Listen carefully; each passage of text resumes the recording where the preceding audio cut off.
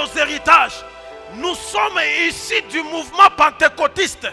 Et l'un de nos héritages s'appelle la glossolalie. Pendant que nous allons rester en vie, nous allons continuer à parler en langue. Glossolalie veut dire parler en langue.